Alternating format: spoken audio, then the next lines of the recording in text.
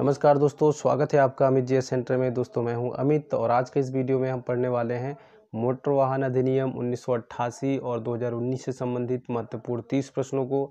तो मेरे साथ बने रहिएगा शुरू से अंत तक इस वीडियो में और अपने नॉलेज को एनहेंस कीजिएगा ताकि आपके एग्ज़ाम के टाइम में आपको दिक्कत ना हो। ठीक है? तो चलिए हम लोग शुरू करते हैं आज के इस प्रश्न सीरीज़ को। तो आज का जो पहला प्रश्न है आरटीओ के फॉर्म फोर ए का क्या उपयोग है? तो आरटीओ का जो फॉर्म फोर ए होता है, उसका जो उपयोग होता है, वो होता है अंतर्राष्ट्रीय ड्राइविंग परमिट के लिए, ठीक है? इसके लिए अंतर्राष्ट्रीय ड्राइविंग परमिट के लिए इसका प्रयोग किया जाता है, ठीक है? चलिए, अगला प्रश्न देख लेते हैं। अगला प्रश्न है, Bharat stage emission standard Bharat में कब लागू हुआ था? यानी कि बी एस ई एस, ठीक है? भारत में कब लागू हुआ था? तो ये लागू हुआ था आपका कब? 2000 सन 2000 ईस्वी में, ठीक है? चलिए, अगला प्रश्न देखते हैं। मोटर व्हीकल एक्ट 1988 में कुल कितनी अनुसूचियाँ हैं? तो दोस्तों, मैंने आपको पहले भी पढ़ा रखा है कि मोटर वाहन अधिनियम 1988 में कुल कितनी अनुसूचियाँ हैं? तो दो अनुसूचियाँ हैं, ठीक है? कितनी? तो दो अनुसूचियाँ हैं, यहाँ पे हम टिक कर लेते हैं। पहली अनुसूची में क्या बताया गया? तो पहली अनुसूची में सिंबल्स के बारे में बताया गया है और दूसरी अनुसूची में किसके बारे में बताया गया है? तो दूसरी अनुसूची में मुआवजे के बारे में बताया गया है ठीक है? चलिए अगला प्रश्न देखते हैं। प्रश्न है मोटर व्हीकल एक्ट 1988 के पहले दृष्टि में किसके बारे में बताया गया? तो यहाँ पे दृष्टि नहीं होगा दोस्तों तो यहाँ पे क्या होगा? यहाँ पर होगा क्या? आ, अनुसूची होगा ठीक है? यहाँ पे अनुसूची आप कर लीजिएगा मोटर व्हीकल एक्ट 1988 के पहले अनुसूची में किसके बारे में बताया गया है ठीक है? तो किसके बारे में बताया गया है? अभी मैंने आपको बताया तो किसके बारे में बताया गया? तो यहाँ पे ऑप्शन नंबर टू करेक्ट हो जाएगा। यातायात संबंधित चिन्हों के बारे में यानी कि ट्रैफ़िक सिग्नल्स के बारे में बताया गया है ठीक है? चलिए अगला प्रश्न है मोटर वाहन अधिनियम 1988 के दूसरी अनुसूची में किसके बारे में बताया गया है? तो किस दूसरी अनुसूची में किसके बारे में बताया गया? तो यहाँ पर मुआवजे के बारे में बताया गया है ठीक है? दोस्तों एक और इम्पोर्टेंट प्रश्न बनता है कि आ, मोटर वाहन अधिनियम 1988 में कुल कितनी धाराएँ हैं? ठीक है कुल कितनी धाराएँ हैं? तो कुल कितनी? 217 धाराएँ हैं वहाँ पे। ठीक है कितनी है? 217 धाराएँ। ठीक है? तो चलिए हम लोग अगले प्रश्न पे चलते हैं। अगला प्रश्न है मोटर वाहन अधिनियम 1988 कब पारित हुआ था? कब पारित हुआ था? तो यहाँ पे ऑप्शंस देख लीजिए। ऑप्शंस एकदम मिलते जुलते से हैं। ठीक है तो आपको इस, इस इनमें ध्यान रखना है। पहला ऑप्शन है एक जुलाई उन्नीस सौ नवासी ठीक है? चौदह अक्टूबर उन्नीस सौ अट्ठासी में एक जुलाई उन्नीस सौ अट्ठासी और एक अक्टूबर उन्नीस सौ अट्ठासी। बहुत ही मिल मिलते जुलते इसके ऑप्शन से तो आपको ध्यान रखना है ठीक है? दो बातें यहाँ पे हैं। मोटर वाहन अधिनियम 1988 कब पारित हुआ था और मोटर वाहन अधिनियम 1988 कब लागू हुआ था ठीक है? तो पारित और लागू में अंतर है ठीक है ना? तो यहाँ पे मैंने पूछा है कि आ, मोटर वाहन अधिनियम 1988 कब पारित हुआ था। तो कब पारित हुआ था? तो ये 14 अक्टूबर 1988 में पारित हुआ था, ठीक है? और अगर पूछा जाए कि मोटर वाहन अधिनियम 1988 कब लागू हुआ था तो कब लागू हुआ था? तो ये हुआ था एक जुलाई उन्नीस सौ नवासी में, ठीक है? रात में वाहन साइड में खड़ा करना हो तो क्या करना चाहिए? ऑप्शन है। वाहन का हार्न बजाना चाहिए, पार्किंग लाइट चालू कर लेनी चाहिए हेडलाइट जलाकर छोड़ देना चाहिए। वाहन के सभी लाइटों को बंद करके छोड़ देना चाहिए, ठीक है? तो यहाँ पर जो राइट आंसर है वह है आपका पार्किंग लाइट चालू कर लेनी चाहिए, ठीक है? पार्किंग लाइट चालू रहेगा तो जो गाड़ियाँ अगल बगल से गुजरती होंगी, उनको पता रहेगा कि यहाँ पे गाड़ी खड़ी है, ठीक है? और आपकी गाड़ी सेफ़ रहेगी, ठीक है? चलिए, अगला प्रश्न देख लेते हैं।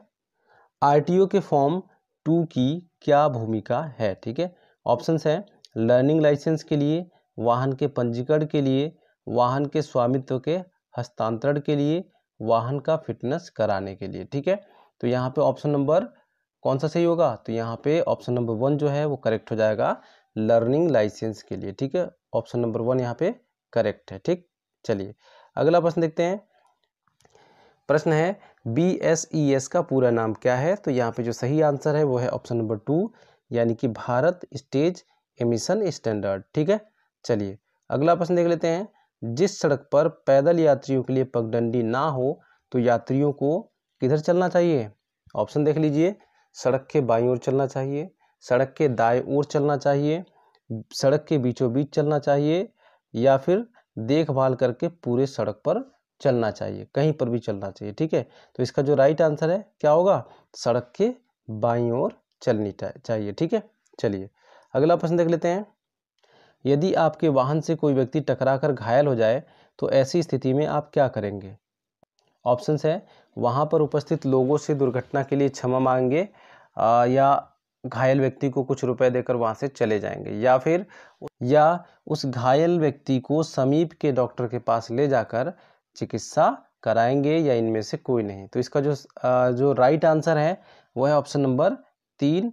उस घायल व्यक्ति को समीप के डॉक्टर के पास ले जाकर हम चिकित्सा कराएँगे, ठीक है? चलिए, अगला प्रश्न देख लेते हैं।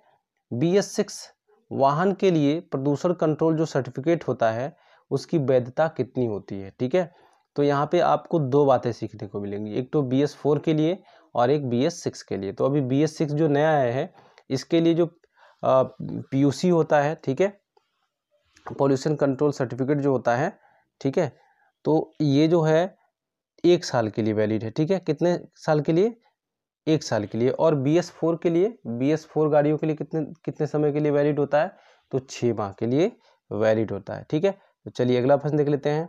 राष्ट्रीय राजमार्गों की सुरक्षा करना किसका दायित्व होता है? ठीक? तो यहाँ पर ऑप्शंस हैं, केंद्र सरकार, राज्य सरकार, गृह मंत्रालय केंद्र सरकार व राज्य सरकार दोनों। तो इसका जो राइट आंसर है, वो है आपका केंद्र सरकार, ठीक है? चलिए, अगला प्रश्न देख लेते हैं। प्रश्न है, एक ट्रक के केबिन में कितने व्यक्ति यात्रा कर सकते हैं? यहाँ पर ऑप्शन है, एक व्यक्ति छः व्यक्ति आरसी में दर्ज व्यक्तियों की संख्या, इनमें से कोई नहीं।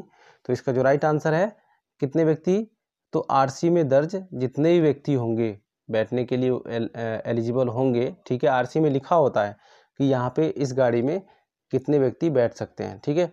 तो उतने ही व्यक्ति उसमें बैठ सकते हैं, ठीक है? चलिए, अगला प्रश्न है, मोटर वाहन अधिनियम 1988 की किस धारा के अंतर्गत वाहन से संबंधित परिभाषाओं का उल्लेख किया गया है, ठीक है? तो यहाँ पर कौन सा ऑप्शन सही होगा? तो यहाँ पे ऑप्शन नंबर वन जो है वो करेक्ट हो जाएगा, धारा टू में बोला गया है, ठीक है?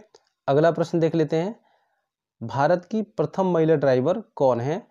तो यहाँ पर जो राइट आंसर है वो है योगिता रघुवंशी। ठीक है, योगिता रघुवंशी जो है, भारत की प्रथम महिला ड्राइवर हैं और साथ ही अगर बात की जाए पार्वती आर्या की तो पार्वती आर्या जो है, एशिया की पहली महिला ड्राइवर हैं। ठीक है, इसकी एशिया महाद्वीप की पहली महिला ड्राइवर हैं।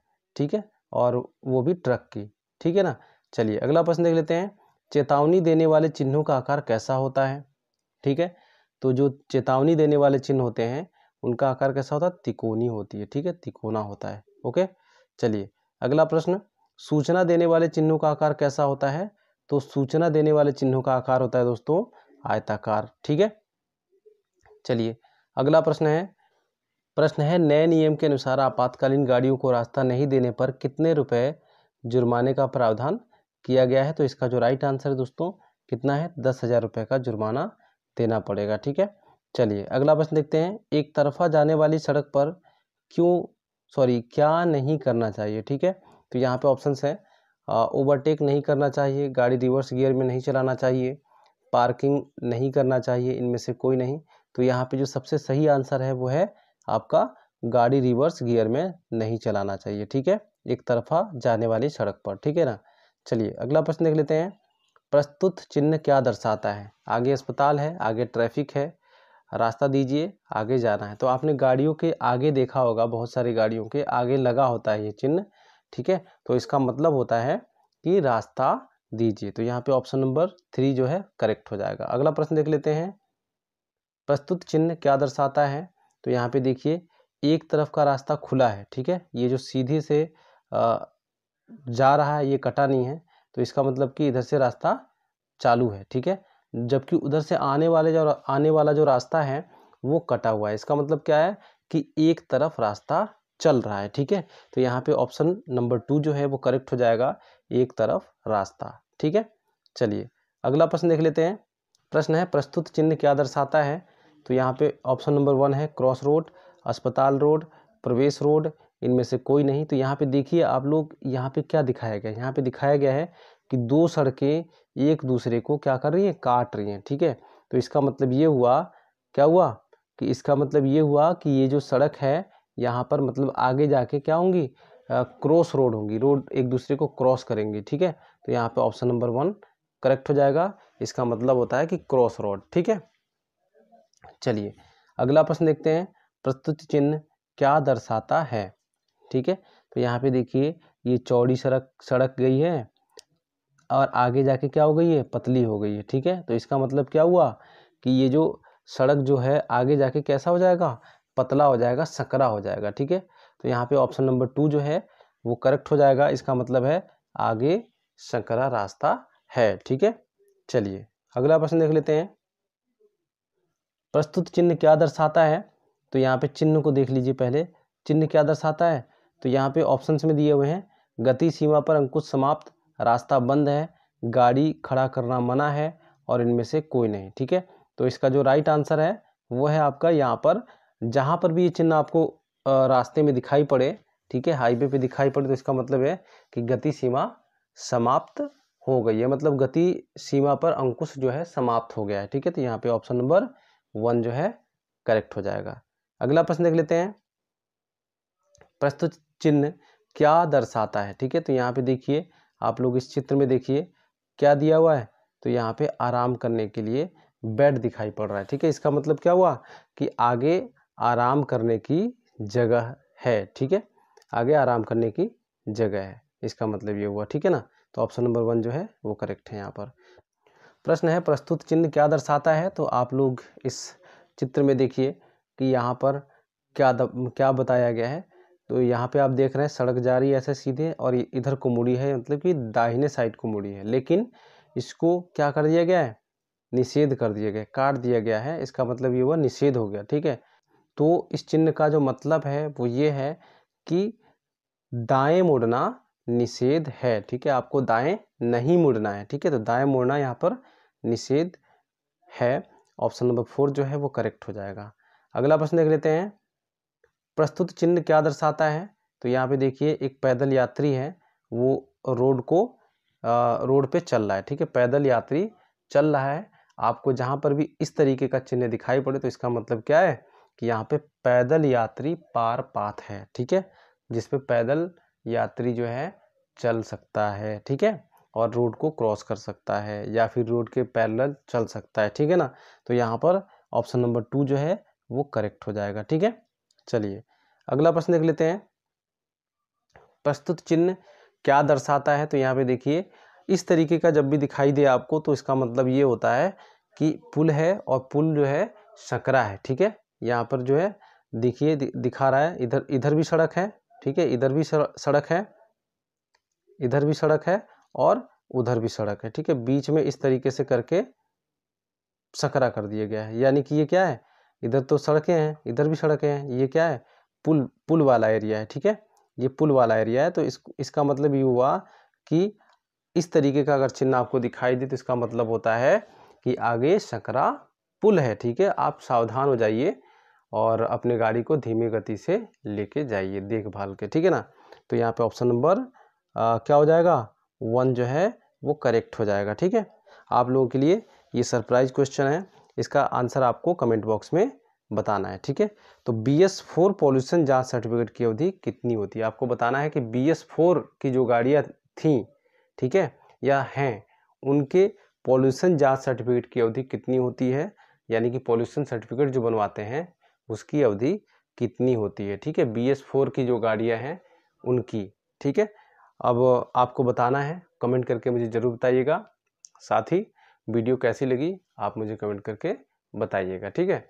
और अभी तक आपने मेरे चैनल को सब्सक्राइब नहीं किया है तो प्लीज़ सब्सक्राइब कर लीजिए, नोटिफिकेशन बेल को भी प्रेस कर लीजिएगा। तो मिलते हैं अगले वीडियो में, तब तक के लिए बाय बाय टेक केयर।